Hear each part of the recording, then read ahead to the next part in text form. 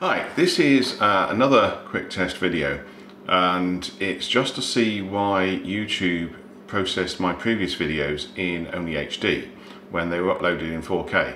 So the previous videos were uploaded in 4K 50p, so that's 50 full frames per second uh, at 4K. This one's being loaded at 4K 25p, so 25 full frames per second at 4K. So we'll see if this makes a difference to YouTube.